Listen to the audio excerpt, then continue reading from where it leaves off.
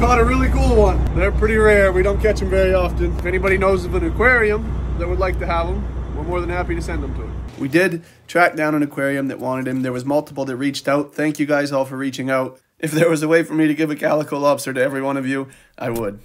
We packed him up in a cooler, loaded him up in the plane, and we're flying him across the state down to Portland, uh, where the University of New England is going to take him and keep him in their tank at Biddeford. So after getting him settled in, we made our way down the coast. It's a beautiful flight. I love flying down the coast. Lots of lighthouses, lots of lobster boats, lots of fabulous scenery.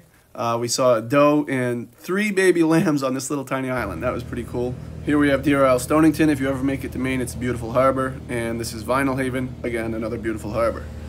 After about an hour of flying, we made it to Portland into a new pond that I've never been into, which is always interesting, but everything went smooth. It was a perfect location to drop off the lobster.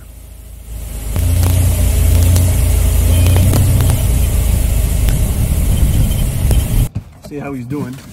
He's doing good.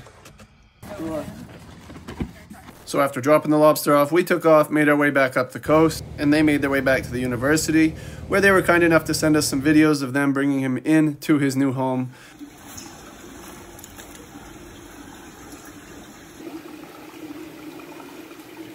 They said he appears to be doing well. Uh, they also said I'm welcome to come back in and check on him anytime. I usually make it to Portland a few times a year. I'll be sure to give you guys updates on him every time I find myself in Portland. Uh, I also think they were looking for a name for him, so if anyone has suggestions on a name, uh, I'd be happy to forward it along to them.